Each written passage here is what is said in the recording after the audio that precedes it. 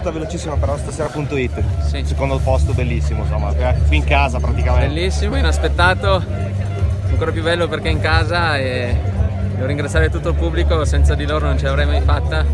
Forse è stato quello che mi ha fatto andare di più del solito, quindi Doppietta con Federico, bellissimo. Ma neanche se l'avessimo scritta su un copione sarebbe venuta meglio, quindi è venuta una giornata fantastica e veramente ringrazio tutti all'organizzazione, al pubblico, a- alla regione, a tutti quelli che ci hanno sostenuto in questa giornata. Senti, ci sono i mondiali, sei informissimo.